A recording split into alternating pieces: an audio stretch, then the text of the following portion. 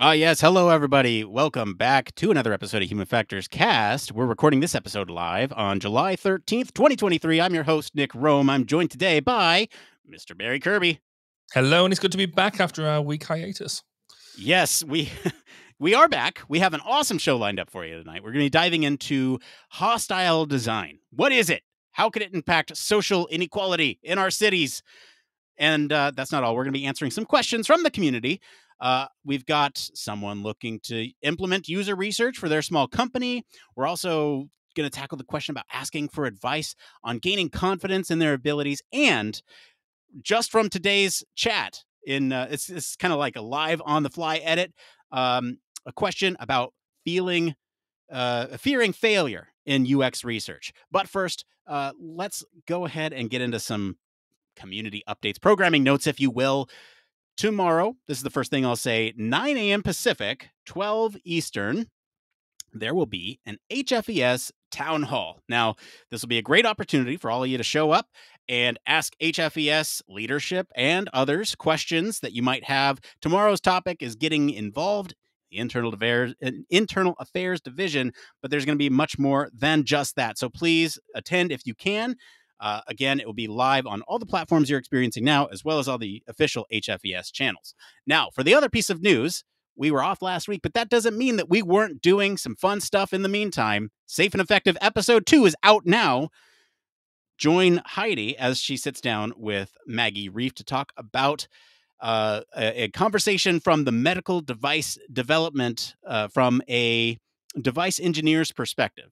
Uh, so, all the human factors chat about device engineering. Really interesting chat. I it's always weird. I said this in the pre-show because I sit in on these conversations. I'm not part of them, and so it's like, yes, I've lived this, but I'm listening to it.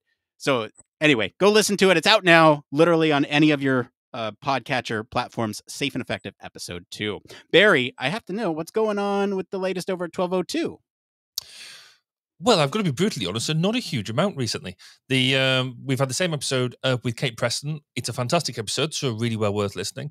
Um, but we've had it up there a while because everything else has been flat out. So we've got no new episodes um, or we've had no new episodes come up. However, there is a new episode coming in either this Monday or next Monday on human factors integration, which is going to be really well worth listening to. Um, we're just getting some final ticks in the boxes for that. And then we've got some other cool um, interviews lined up. So, bit of a hiatus at the moment, but uh, new content coming soon. Exciting. I'm excited because I finally caught up on my 1202 feed. So, I'm excited for more stuff. Anyway, we got a great topic tonight. Let's get into it.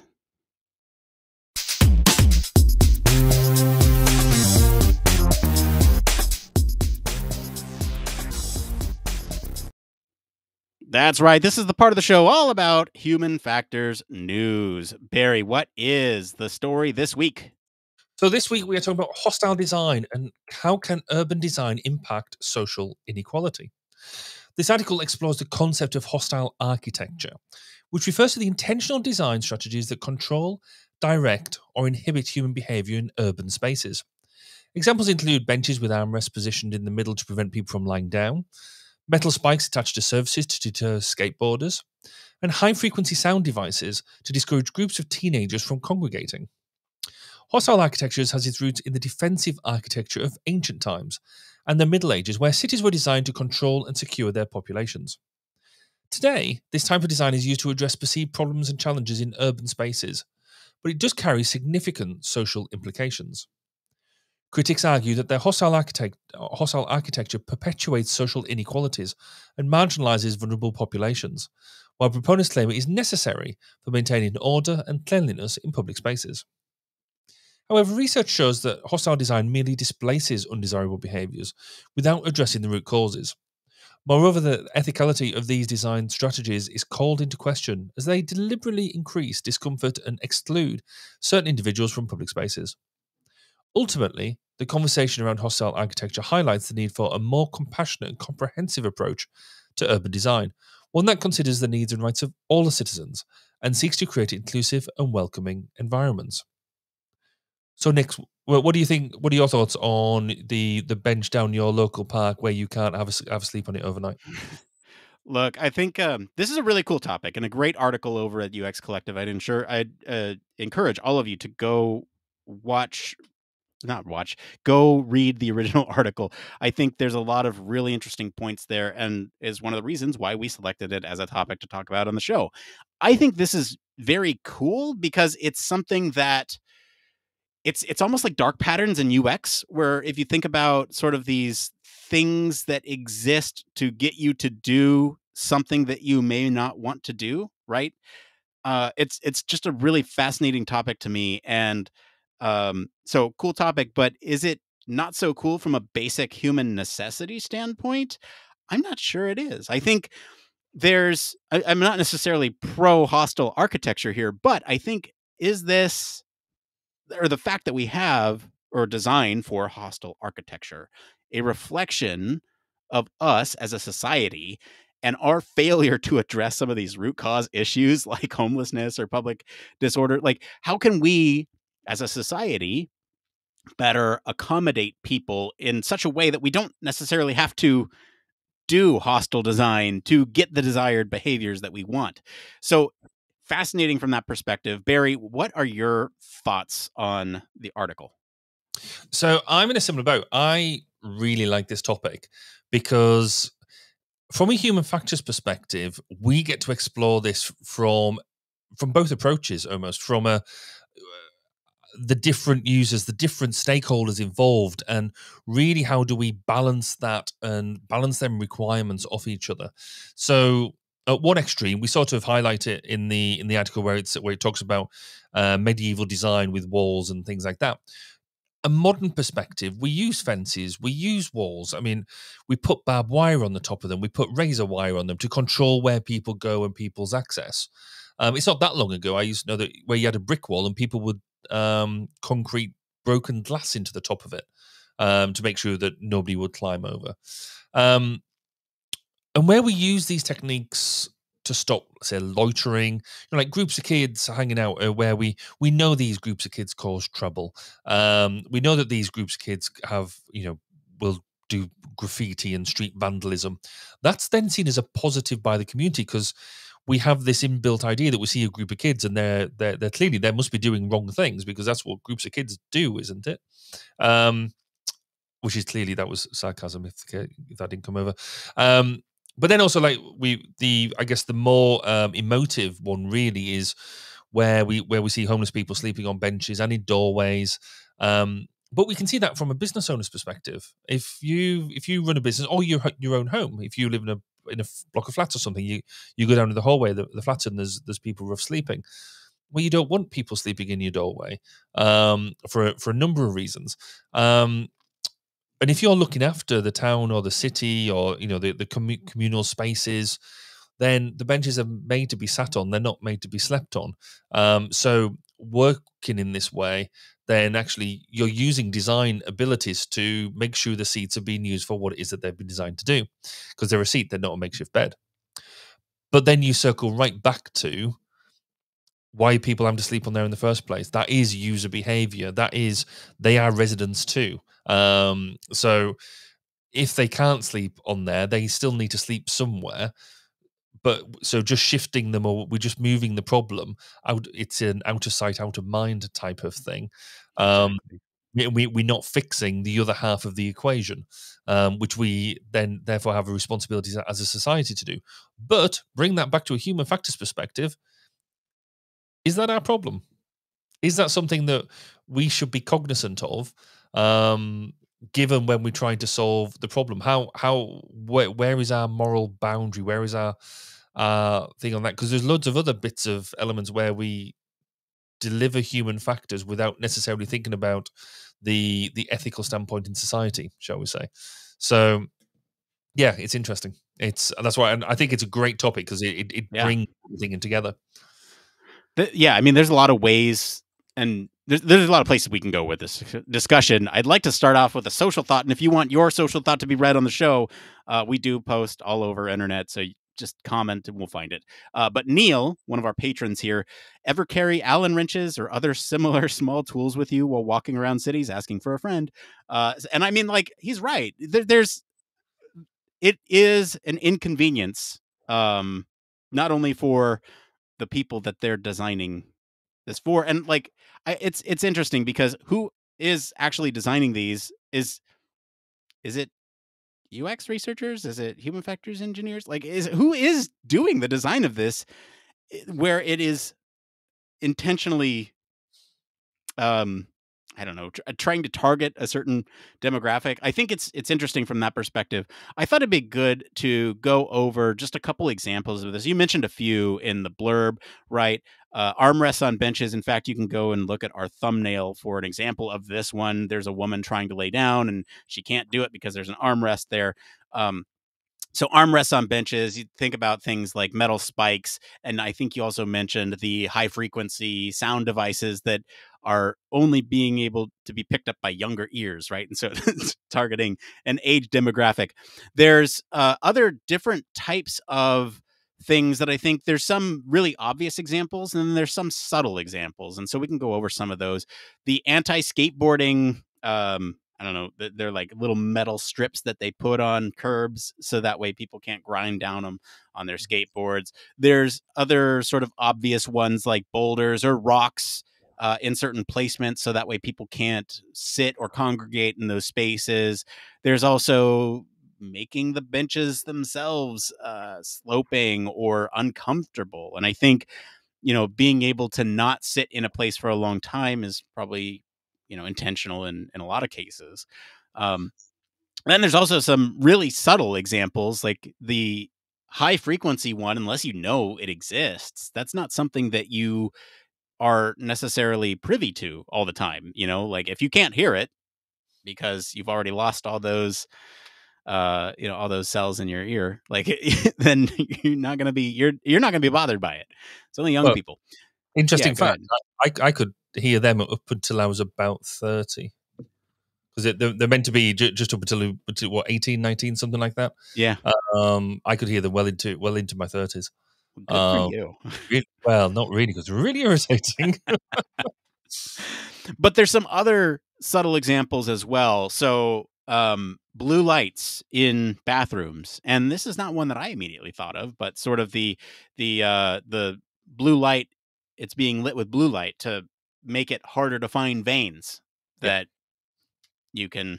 Yeah, you, you can read between the lines there. Well, we- Um, Sorry, just to jump in, we had a social thought on exactly that topic. yeah, uh.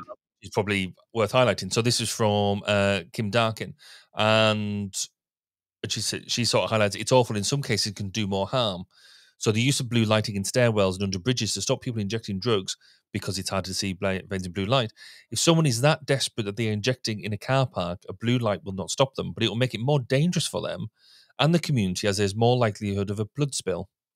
Blood spill, yes. Um, surely the money spent on these initiatives would be better spent on, on support, which is kind of what we were saying earlier as well. Um, but again, it's interesting, isn't it? It's it's that whole um, in unintended consequence of what seems on paper, yeah, logical idea, um, but then it's that wider implication of well, so what? Yeah, I think you're right. I think that that's a great. Thank you for bringing in that uh, that social thought. Um, I was kind of just rolling here. Uh, we let's see here. The the the idea of bench bars. Have you seen these? I've seen these, and these are annoying. Where instead of like the sit down benches, these are uh, you lean up against them, and it's kind of like just a place to lean and relax instead of sit and relax. Um, so that that brings in another social thought. Go for it.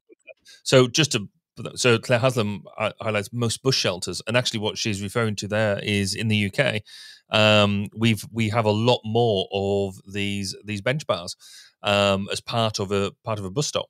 Um, so, and I know of a specific instance. So when I was a um, when I was a counsellor, that there was a particular bus stop outside of somebody's house where people, where younger people in, in particular, were congregating around this um this bus stop and i got called into um by the by the owners of these of the houses right next to it saying we're getting all these people congregating all the time what what can we do about it and that was one of the solutions that was recommended was that we put in these bench bars so people couldn't sit I think it was like, well, but what about people who actually need the seats when they come to get on the bus? Um, so that was a bit crazy, but yeah. So we see a lot more of the of, of bench bars being used in places where you traditionally have a seat. Right. Um, and then the use of uncomfortable material or design, and when these seats or benches are made from uncomfortable materials or designed in a way that's uncomfortable to sit in for a long time, that's another uh, subtle example of this hostile architecture. And then the last sort of example I have is narrow or uncomfortable sidewalks. And this is one where if you don't want large groups together in one space you you make the sidewalk narrower so that way there's you know an intent behind not being able to gather in that area and so i think these are these are some really interesting examples that we can think about as we look at this topic and i guess we'll bring in sort of the last social thought here that we have at least in the show notes is that uh, this is by sarah and she writes, I imagine many stories can be told by people with disabilities, visible and invisible, about how they've been excluded from spaces. The impacts on the sense of place, an act of omission can seem like commission in design. And then also urban versus uh, versus urban space designed to bolster the needs of children or older users or welcome pets, sort of that inclusive community. And so I think this is a really interesting uh, point that we can use as kind of like a springboard. What do you think, Barry?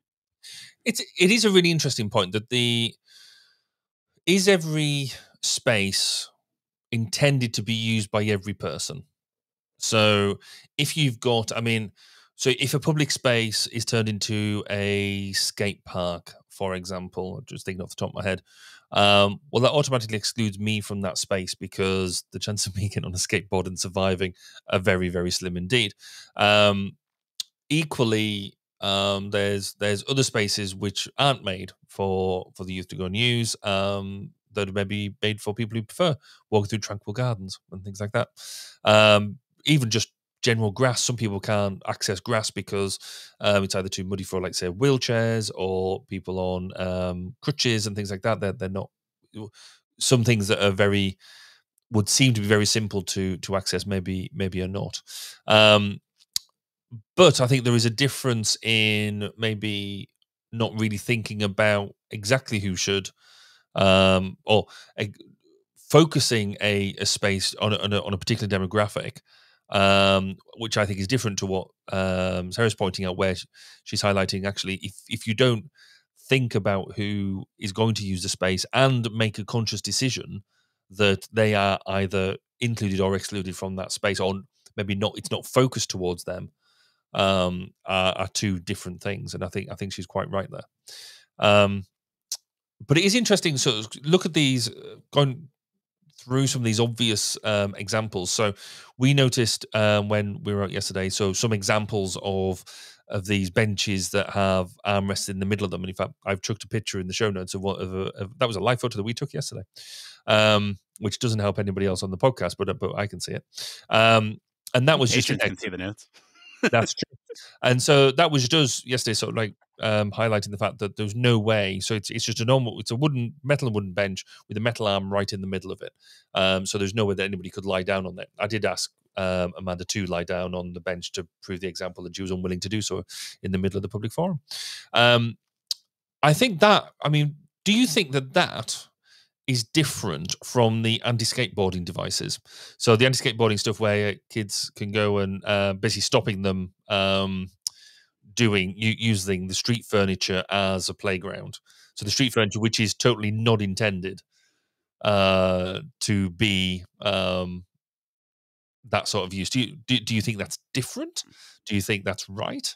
uh, just put you on the spot. This, yeah, I mean, this feels like a gotcha question, Bear. Because I mean, look, look, like the the intent behind benches is to allow people to sit and rest, and if somebody is still intending to rest by sleeping, are you you're preventing them from sleeping by putting that arm in the middle of it, right? Just like you're preventing somebody from skateboarding from uh, from skateboarding on you know, with the with the metal strips, and but I mean, what is the intent behind curbs and retaining walls? Like, think about it. What what is the intent behind them?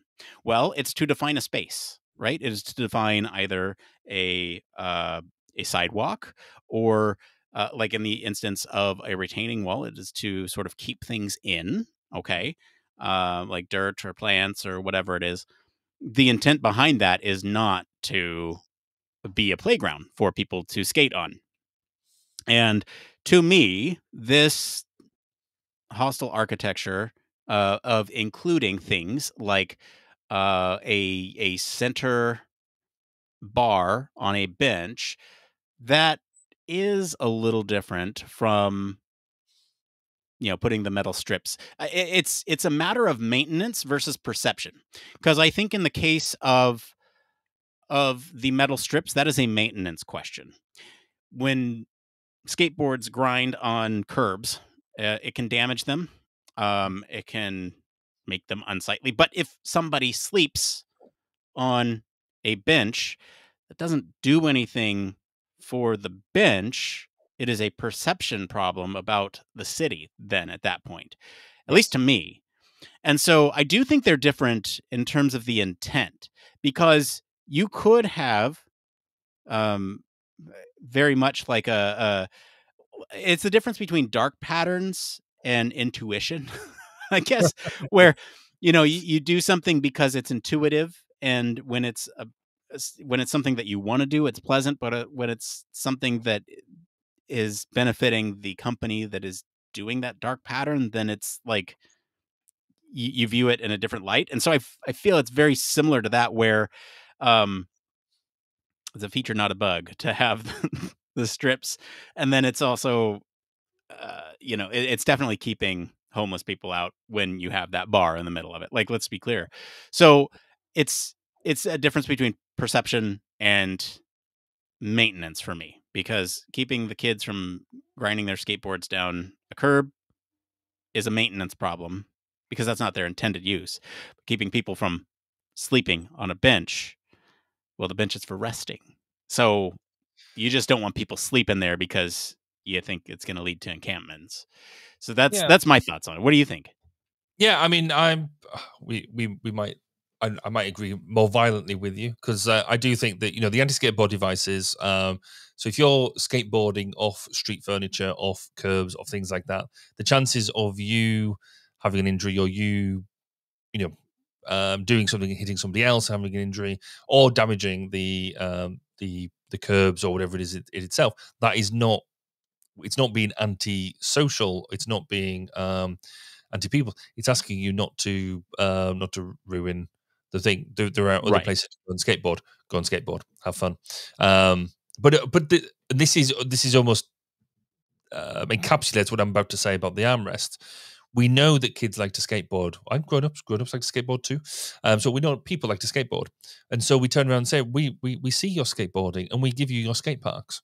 We give you, you know, um, certainly in the UK, we see more and more pop up skate parks, pop up half pipes, and things like that. So we recognise that people want to do this, and so because it's the kids and because it's cool, we we we build them nice little skate parks uh, to go That's and do great. it. And, and that means that we can turn around and say, "Will you stop skateboarding in our lo- in the in the public space and trying to endanger people? Go to the skate park. You give them somewhere to go." Right. That's great. But but and this is where the what if you don't well, have the money for both? Well, let, let me finish my good point first, and go then you, then you, then you can go to shreds. This is my problem with the the armrests on benches, because on the one hand, this is a great piece of human factors engineering.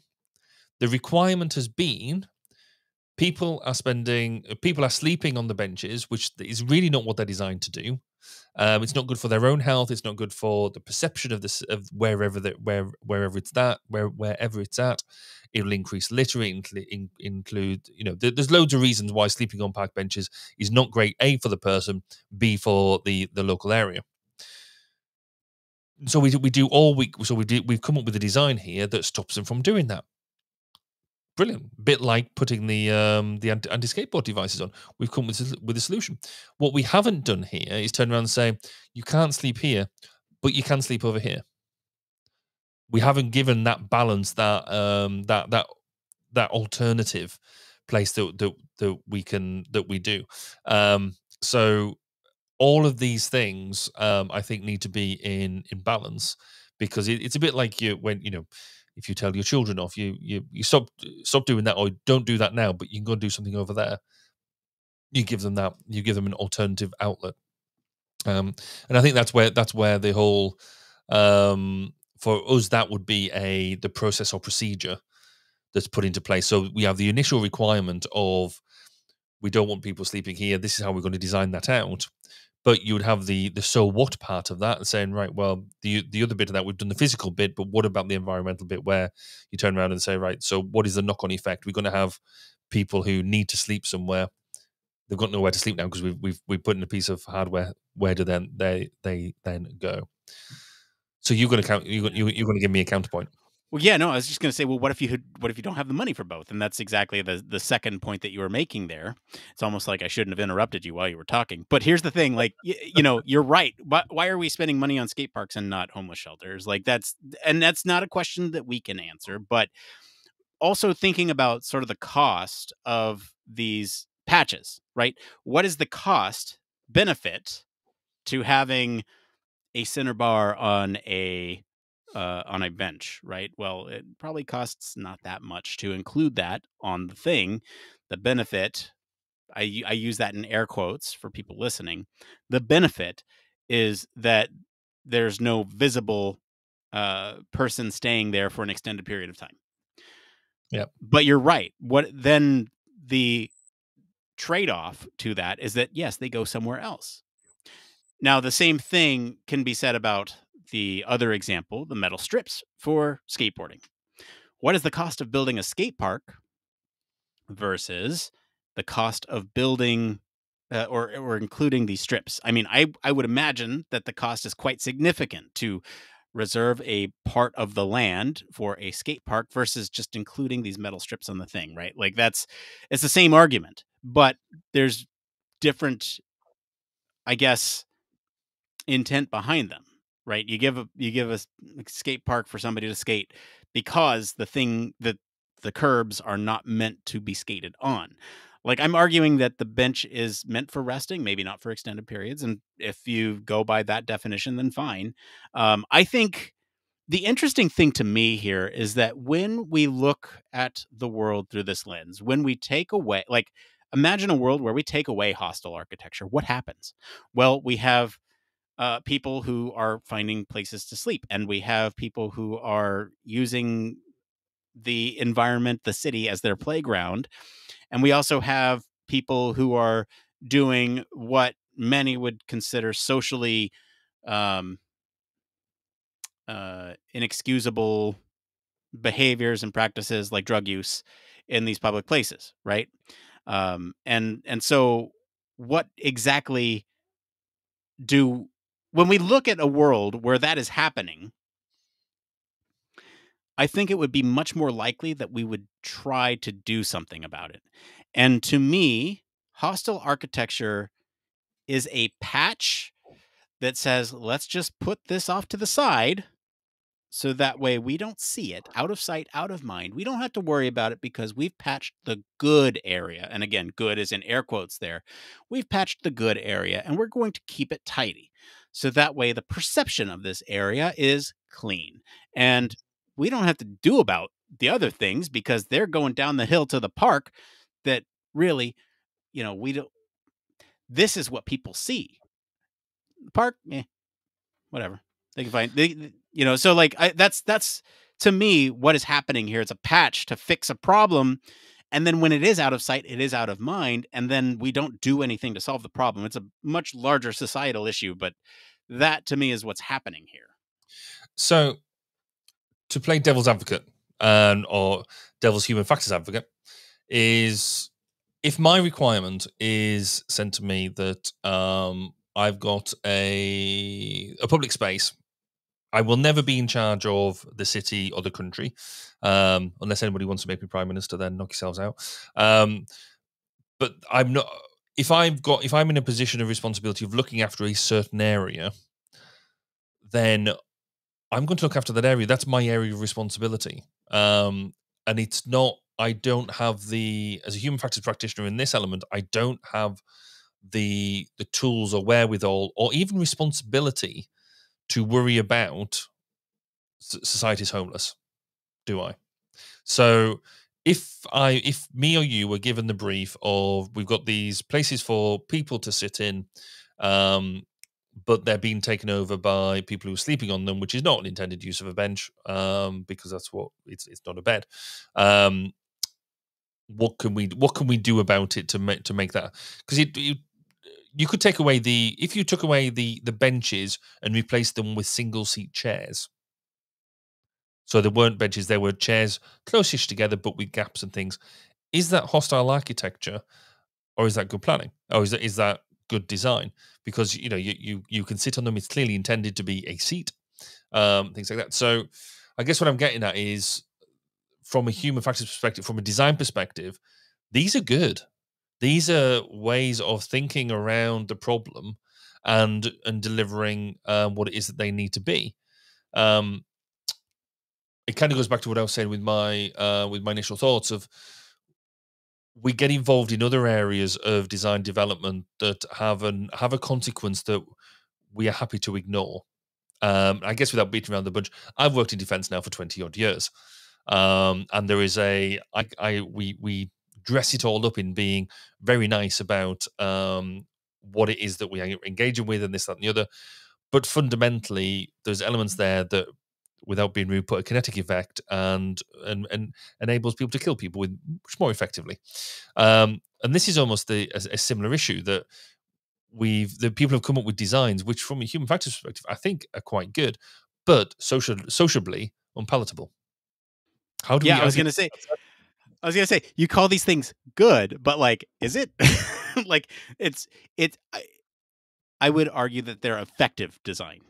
Um, yeah. That you know they, they they are getting people off the benches. They are stopping people they're, from they do the job. Therefore, they're good. Yeah, exactly. They, they're effective.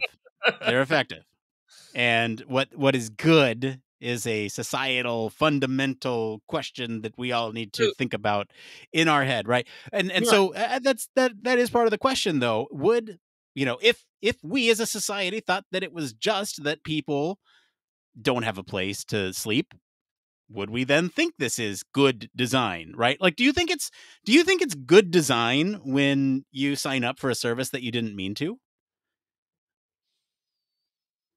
through dark patterns like is that good design it's effective design it's effective design um i mean I, I, guess on the one hand because we're dealing with homelessness and and that's what that that's more emotive um because i think we're also good um good social thinking people, and therefore we want to do the right thing overall. And sometimes I think it can be quite hard to um, distill the two one from the other. Um, I guess a, a less possibly it. So the the high frequency sound device, the uh, the mosquito device that they that you can put out. So like as I said earlier, I can hear them outside. I used to be able to hear them outside shops till quite late on, even though it was promised that no only children can hear about. And and we want to deter um, groups of, of younger people congregating together. Why do we want to deter groups of younger people congregating together? Um, it's a perception issue that we think because there's a group of kids all getting together, they're going to do bad things, and people feel intimidated. Um, again, going back to uh, my cancer days, I was going past an underpass in in the area that we uh, that we lived in, and a woman came up to me and said, You need to do something about that, that group of people over there, that group of kids over there. And there's a group of maybe 10, 12 kids um, hanging around. I was like, Well, what have they done? Well, they're hanging around. And I'm like, Right, get that. that that's cool. What have they done? Um, well, I, I feel intimidated. Right, okay. I, and it's perfectly legitimate that you feel intimidated, but what have they done? Have they done something to make you feel intimidated? Because you're on the other side of the road; they were quite quite far away from. So again, it's for me, it's this almost perception thing around. Um, just because we've got a group of young people, they're not necessarily who I am. Therefore, I feel intimidated. Maybe it's influenced by social media, what we see in the news, etc., etc. Um, so, why the need for these devices as such? Um, are they bad, or the fact they're keeping groups of kids away from certain areas. I mean, I know one shop that used it around their loading bay, um, which seemed a more legitimate use of it because they wanted to make sure that there, there was no groups congregating. So when the trucks reversed it, they, they, it, it was safer. At least that was logical argument. But then we do, we have them in public spaces, and I don't think that's legit. Um, I don't know. What what what do you think about? Do, do you think these non so you know these sound devices aren't hurting anybody. No, they're. I mean, look, the the intent behind what, what we're talking about, the topic of hostile architecture, it is really a way to control or direct Mhm. people in certain ways. And if you look at the origins of hostile design as we're talking about it today, this is another fascinating look that the article takes. So I again encourage you all to go read, listen to it. But they talk about the origin of hostile design and and in ancient times, the intent here was to be defensive, right? You think about building walls to protect your people from those that are not you, the other. There's always a fear of the other, the fear of the unknown. The, the more, this is why, um, just generally, why you see sort of um, more progressive policy that is inclusive in major city centers is because you experience more diverse perspectives than your own versus living in the rurals where you don't necessarily get a diverse perspective. It's us versus them. And so when you think about trying to protect your own, the thought of hostile architecture of of trying to control control or direct another group, right? If it's if it's homeless, that's another group. You do not belong to that group as a city planner or, you know, somebody with a job. You know, like you don't belong to that group, and so they're other. It's fear of the other, and that again, like just getting at the ancient purpose of hostile design is where we have to come back to. And so when I think about hostile design in cities, it is because we don't we we aren't getting that perspective in the in the design phase, right? Is it good design if we're not accommodating for all the users? Mhm. Right? If you think about a public place and public facilities, i.e. a bench, if you are not you know getting a representation of all the users including those without homes including those who want to skate in the public place. Are you are you building something that is i mean is it going to be effective for most people? Uh, that's something that you can argue. Is it something that's good for all people? No. We can objectively say no. Right? And so uh, we can objectively say that right We- we can objectively say that it's not good for all people No, it's it's definitely not good for all people. Um, flip side, counterpoint. Does that mean that I should be designing beds in my public spaces? no Why not?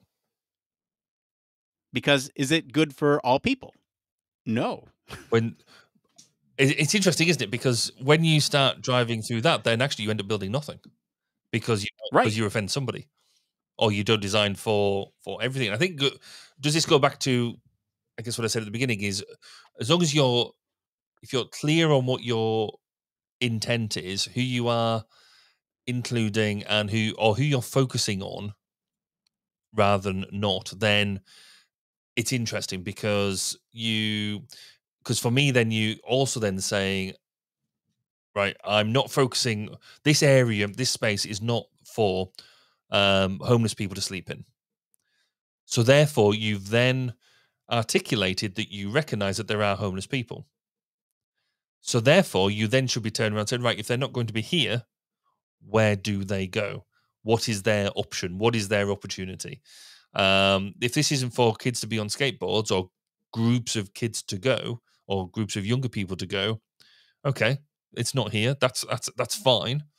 But where where is it where do they go? Where do what is the where do you set that other requirement? And there is almost a uh, that's that for me is the almost the crux of it. Actually goes back to a we Yeah. today is the is the thing of saying um if not now when? If not here then where? Um because you you know so in the plan whatever plan that looks like you've highlighted a set a, a user set that might not have been thought of and that's legitimate. We don't necessarily all think of all users all the time but as soon as you it's a bit like pandora's box as soon as you turn around and say right this set of people cannot use this public space. Therefore there is a requirement for another public space for these people um, whatever that is. And that's how you're basically your user requirements come into play on this wider level this is where we struggle within a human factors perspective because we've and it's we've done it around climate change as well um that we we think around um, the, the the human factors environment that we're talking about as being a singular space, a an, a, a, a bounded environment, a bounded place, a place of work, or it could be a, a vehicle, or it could be whatever. Um, we struggle when it comes when it comes to the wider um, environment, the the bigger the bigger piece, the, right. the, the, macro level. Um, so that idea of macroergonomics, um, and this would this absolutely plays into that. Yeah, that's that. I mean, that pretty much sums up my thoughts as well. I think this uh, this is a one size fits most, not one size fits all, because you do to to make things equitable. You need that other space that will address the people that are not being served by these design decisions in the the common area, right? So if you do implement benches with armrests, also erect a homeless shelter. If you are putting up these metal straps, also build a skate park.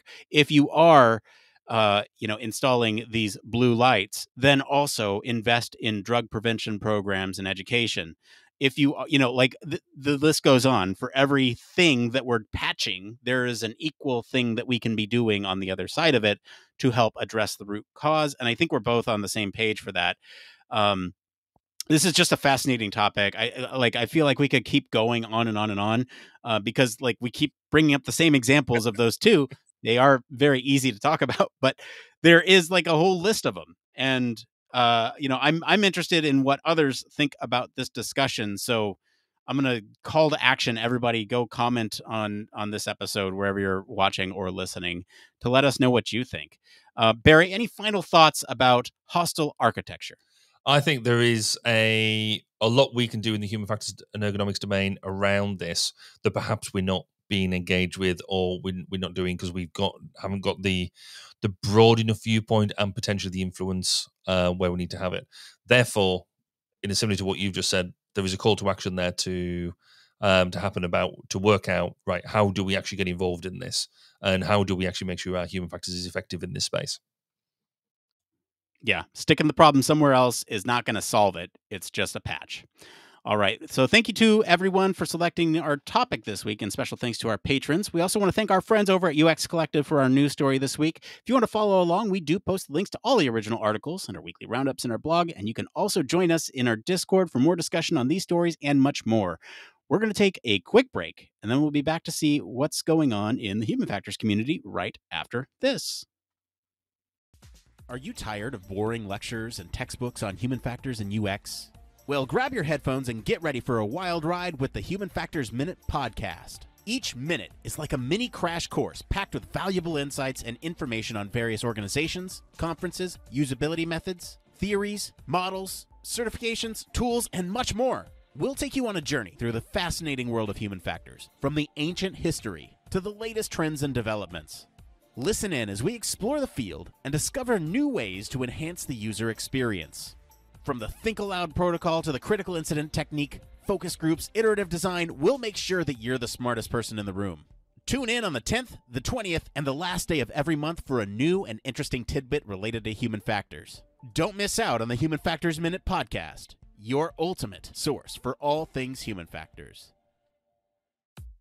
Human Factors Cast brings you the best in human factors news, interviews, conference coverage, and overall fun conversations into each and every episode we produce. But we can't do it without you. The Human Factors Cast network is 100% listener supported. All the funds that go into running the show come from our listeners.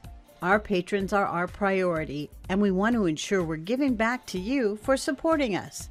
Pledges start at just $1 per month and include rewards like access to our monthly Q&As with the hosts, personalized professional reviews, and access to the full library of Human Factors Minute, a weekly podcast where the hosts break down unique, obscure, and interesting human factors topics in just 1 minute. Patreon rewards are always evolving, so stop by patreon.com slash humanfactorscast to see what support level may be right for you. Thank you, and remember, it depends.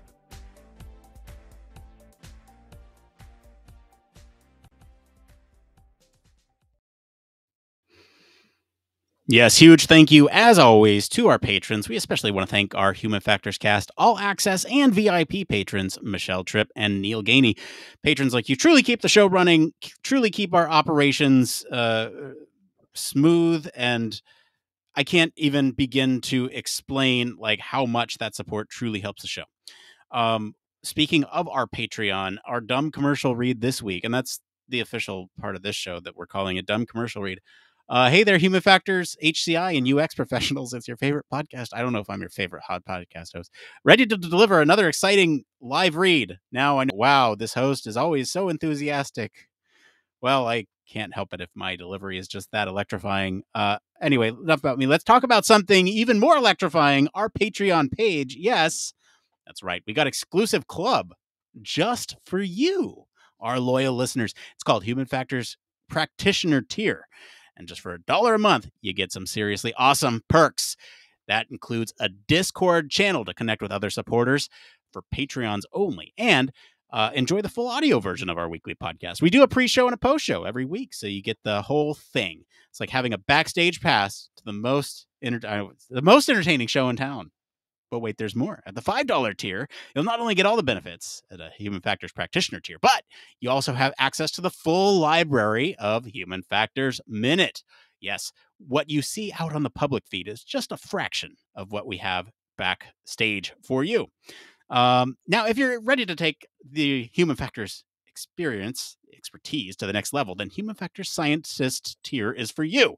You'll receive all the other tiers. Uh, this is getting lengthy, so I'm just going to say look at our Patreon. It's there's a lot there. And there's plenty of ways for you to support the show, and we make sure to give back at every tier. So, my friends, don't miss out on this exclusive opportunity. Join our Patreon, become part of the Human Factors Cast family. Just head over on to patreon.com slash human factors cast or click on the show notes. Remember, it's not just support, it's a whole new level of human factors awesomeness. All right, what do you think of that, one, Barry? That was that was a little rough. But, eight out of ten. I think you, you've you've done better, but you've done a lot of worse. Thanks. All right. Well, let's get into the next part of the show. It came from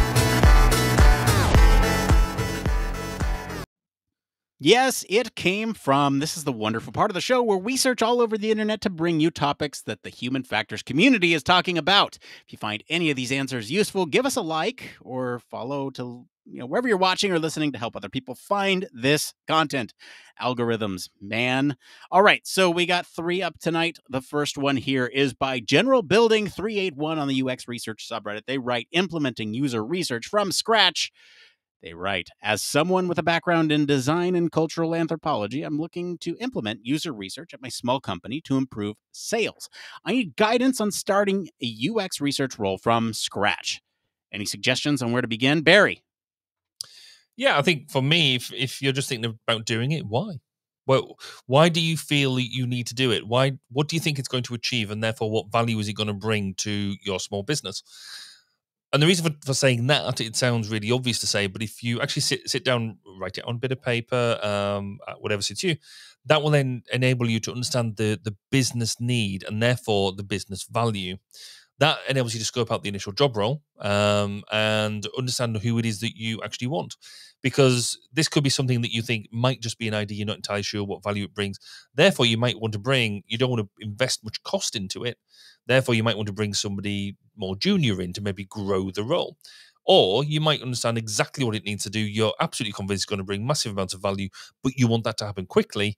Um, so you bring in somebody, you you know, you you invest more up front. You bring in somebody a lot more senior, and they and hopefully they hit the ground running and bring in their experience of what they want to do. But fundamentally, just saying, "Oh, I think UX research will will do some cool stuff," that's the starting point, but you've got a fair bit to do. You know, just asking some simple questions to understand why you think that. Therefore, then it'll it'll bring hopefully bring value for you for your business. Nick, what do you think? How how would you get started in that position? Starting something up at a company is hard because there's already an established culture. And so I mean, if this person is looking to hire UX research, then that's one thing. If they have a UX research background and how to build it up, that's a different thing. And I want to talk about the second piece because the decision on whether or not to include user research or UX at a company is is separate. And I think this one, this this other side will have a lot more uh, actionable impact. And so when you think about trying to start something up from scratch, you have to change culture. And so to do that, you need to interact with all the groups. It's easier at smaller companies because then you know everybody involved. At larger companies, that uh, you, you need a much larger support system to try to get that momentum of hey include us six months ago and not two weeks before the thing ships you know like there's there's a lot of um a lot of things that need to happen in order for that cultural change within a company to happen and so just understanding where that company is at who the major players are in that process and trying to change the minds of those people so that way it trickles down into UX research is probably the way that I would go. Okay, let's get into this next one here. How long did it take you to become confident in your interview skills? This is by Gergmurf on the. UX research. Thanks. On the UX research subreddit. right. Asking for advice. How many interviews did it take you to feel confident in your abilities? Now, this is user interviews, not like job interviews. Mm. Barry, what do you think? Um, define confidence. I think um, I'm more than happy and content that I can go and interview people. You know, I can go and interview. That's that's not a problem, but only if I've done my preparation. Only if I've done the the requisite steps that you need to go up and do that sort of interview in the first place. Because I can be the best interviewer in the world if I don't actually have the plan, if I don't have the questions in place. Um, well, I'm going to be rubbish. I'm going to be absolutely rubbish because that you know I often say that the you know the interview is only a, a quarter of the actual job. Um, because yes, it's it's a bit where you're you're interactive. So um, there is there is a level of practice and uh, and I guess experience there for when thing more for when things happen that you don't expect, um, and maybe the way that you craft some of the questions um, or you're you know you're crafting the way that the interview is going to go, and maybe you get a curveball that you weren't expecting. Being able to handle that type of thing is is something that you do pick up with experience. Um, but even then, I think it, it's it didn't actually take me that many interviews to realize that it was about preparation. I, I did trip myself up quite badly um, through non-preparation, and I swore never to make that that mistake again. Nick, what do you think? Yeah, I think it, it is really all in the prep work. And I think there there can be a lot of flailing with juniors and and not understanding what it is they're asking. And so I guess the actionable insight here would be to when you do prep, understand the intent behind each question. What is it that you are trying to learn when you ask them that question? Is it an opening to a deeper question that you're trying to understand their you know their process. So it is a lot in the prep. Try to understand for for them the best of your ability, to the best of your ability, what it is that they do in their role, so that way you can already start to meet them. Like if it's a brand new domain, brand new thing, you're going to try to go out and understand exactly, not exactly, but most 90% of what they do in their role and then to get that other 10% about the user needs. That's kind of where the magic of the interview comes in, or even 80 20. That's fine too. Just understand a lot about what it is that they do. And then you'll find those surprises as you start to ask them. And you can almost have them challenge your assumptions. And that's great. Uh, so uh, it is all in the prep work. That's it. All right, this last one here is uh, kind of on the fly decision we made tonight. We got a question in YouTube uh, on our YouTube by Bailey saying, uh, experiencing fear of failure in UX research career. Bailey writes, I'm experiencing a vulnerable time in my UX research career where I have a fear of failure. Thoughts on this? Barry, fear of failure. I never fear failure. I'm completely okay. Lying. All right, um, moving on. No, the um, no, I think uh, the the fear of failure is is there constantly, and I think if you didn't, if you didn't if you weren't concerned about failure then i'd be wondering are you challenging yourself? Are you doing um are you doing interesting things? I've spoken before about imposter syndrome and which i think goes hand in glove with, with this type of thing um of which is something i know i suffer from on a um, more than regular basis. But it's almost part of what makes this job interesting and exciting uh it which also leads itself to the the that potential for you to think that it's all going to go wrong. So you, we go into new domains um, when you go into new teams uh, because we largely work, um, or particularly certainly I've worked a lot as a you know as, as, as a single person in a in a role. Um, you may be the one human factors person or one ergonomist, one researcher um, in a in an organization, and so there's a lot of pressure on you at that point. That makes it really exciting. That makes it really fun because you can go and scope things, you can do things, but actually you're also sitting there going, "Well, am I doing it right? What happens if somebody else um, comes along and looks at what I'm doing and goes, you're doing it all wrong. You should be doing it like this. You should be doing X, X Y, Z.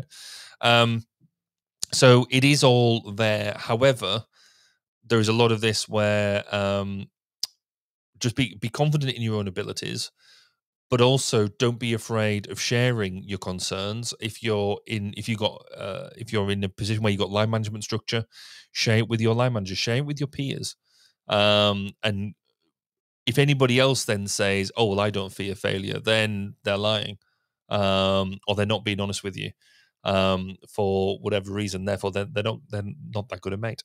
Um, so talk about it, and talking about it, I think, is the biggest and best thing that you can do, um, because not only are you highlighting to others where you you know to hopefully get some um, confident uh, some um, assurance from people that actually know you're great, but also you're showing to other people who may be having the same fear of failure, actually, it's fine to talk about this, um, and we can do it. So on, but on, talk about it.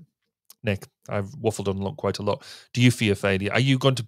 Are you fear of failure of answering this question properly? And you're on mute. Ah, podcasting for how long? And I do that. Um, I think this is an interesting question because I am thinking about this in a way that I relate to. So for me, fear of failure goes hand in hand, like you said, with imposter syndrome. But what is failure? And in the opposite direction, what is success?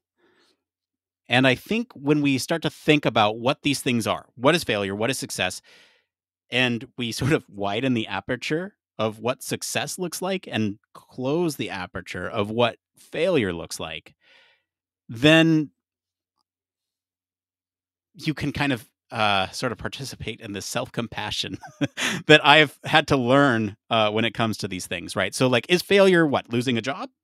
Okay, yeah, that's that's unfortunate. Can you find another job afterward? Is it going to end your career? what what would you like? I think that is something that you know, is there a career ending move that you can perform? And then think about the things that would be career ending moves. Have you done any of those? Probably not. I, I mean, probably not. You might have, but I don't think so. Is it is it something that might get you fired from a job? Yeah. Okay. Fine. That, you know, move on. And it's it's easy to say move on, but again, what is the aperture of success and what is the aperture of failure? For me, success could just mean getting through this podcast and answering this question. It could also mean doing, you know, something successful at work. And what I've found that is helpful is to document the wins or the successes that you experience or that people have said about your work so that way you can remind yourself ah this is the perception i have sort of higher standards for myself that i need to work through and if I don't meet those standards, is that failure? Maybe this is something that I've worked through with my therapist.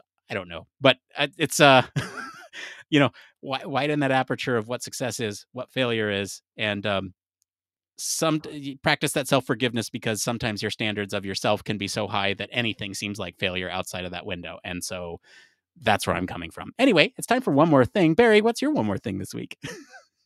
so this week we had um, an interesting thing where my daughter's finished her first year at university, and so we had to move her out of her university halls into a, house that she's renting for for the second year. And I don't understand how such a small flat, su- such a small apartment that she was living in, can hold so much stuff. Um, also, she was on the third floor of this without a lift. And so I was got very bored very quickly of what of trudging up and down and up and down and up and downstairs. Um, what was the most interesting or and i did it you could tell where tiredness was coming into play where i got up to i knew i had to go up three flights of stairs and so but more than fact i think it happened about three times i actually got to the second floor and opened up the door for the second floor a bit and actually think because all the stuff was piled on the landing opened up it's all gone that's really weird. Where's it all gone? And realize I still had another set, another flight of stairs to walk up. And when when you're tired and you're exhausted and swear words are just not enough anymore that's where i had to dig deep and crack on. So yeah an, an interesting experience yesterday um, of doing that and then ended with um, learning more about different types of uh, tequila and margaritas. So fun day was had by all. Nick what about you? What was your uh, what's your one more thing uh, well uh, there's a summer sale and i got a steam deck um, it's kind of like a switch but it plays pc games so uh, I will say I, I'm like fairly new to it. I just got it um, like two days ago, so I'm like doing all the setup. I will say two things. One, setting up uh, games that are on the platform that you like Steam, right? If you mm-hmm. buy games on Steam, you can play them very easily if they are compatible with the deck, and that's very nice. Um, very easy to use. Now the thing is, if you have a bunch of different games across different platforms like I do, different stores, that takes a little bit more tinkering. Um, when it get when you get it working, it's extremely satisfying. So um, it's it's good for tinkerers in the sense that you can actually get stuff to work. It's not completely closed off, uh, and so that's that's nice. And I'm learning Linux uh, how and how to do all that. So that's that's cool. Uh, well, that's it for today, everyone. If you like this episode, enjoy some of the discussion about architecture, I'll go encourage you to go listen to our episode 254 on The Line, where we talk about that new city they're building without roads, cars, or emissions. Comment wherever you're listening with what you think of the story this week. For more in depth discussion, you can always join our Discord community. Visit our official website, sign up for our newsletter, stay up to date with all the latest human factors news. You like what you're doing? You like what we're doing? You want to support the show? There's a couple things. Uh, well, if you like what you're doing, give yourself a pat on the back. You deserve it too. Uh, but if if you want to support the show, there's a couple things you could do for us. You can leave us a five star review. We'll take that. Uh, that's free for you to do. You can tell your friends about us. That's also free for you to do and really helps the show grow. And if you want to, uh, and have the financial means to, you can always support us on Patreon. We'll take your money and we'll put it to good use, I promise. And as always, links to all of our socials and our website are in the description of this episode. Stick around if you're watching live for a post show. Uh, I want to thank Mr. Barry Kirby for being on the show today. Where can our listeners go and find you if they want to talk about hostile architecture and benches? If you want to come and talk about benches, then find me on social media, particularly on Twitter at Baz underscore K. Also now on Threads, which is interesting. Um, but if you want to come and listen to interesting interviews with people in and around the human factors community, then find me at 1202 on the Human Factors podcast at 1202podcast.com. As for me, if you want to talk to me being a naughty bench, you can find me on Discord at Nick underscore Roome. Thanks again for tuning in to Human Factors Cast. Until next time. It, it depends. depends.